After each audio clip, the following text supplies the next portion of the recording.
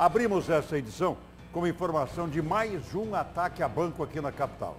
Nesta madrugada, bandidos invadiram uma agência bancária localizada na Avenida Isaac Povas e furtaram armas e deixaram para trás moedas estrangeiras. Quem tem as informações é a nossa Luciana Gavilha. Deixa eu ver aquela TV. Os bandidos foram bastante ousados. Eles conseguiram driblar dois sistemas de cerca elétrica.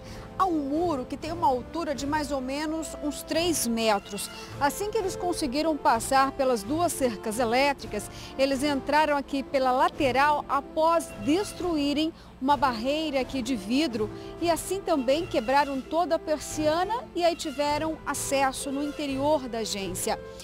Os policiais militares que faziam rondas aqui bem pertinho na Avenida Getúlio Vargas chegaram rapidamente aqui na Avenida Isaac Povas, onde fica a agência bancária. De acordo com o CIOSP, foi irradiado aos policiais que o circuito de câmeras interno da agência foi completamente desligado e também haviam indícios de que aqui no prédio tinha fumaça. Os policiais militares então pediram reforço dos homens do BOP, que por volta de uma hora da madrugada já chegaram aqui na agência.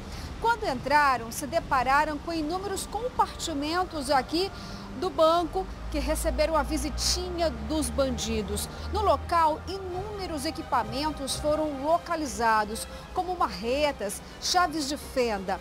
E também os policiais já conseguiram perceber que em um desses compartimentos da própria agência haviam algumas armas que foram roubadas. Portanto, importante material bélico que foi extraído aqui da agência bancária. No chão, em um outro compartimento da agência, foram encontrados, jogados pelo chão, moedas estrangeiras, tanto euro quanto dólar. Para se ter uma ideia, a quantidade de euro que foi deixada aqui na agência pelos bandidos totaliza um pouco mais de 8 mil euros e um pouco mais de 13 mil dólares.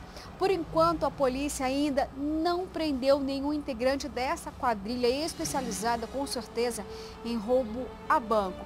Portanto, a agência agora tem até um comunicado aqui na frente que está sem sistema e sem previsão deste retorno.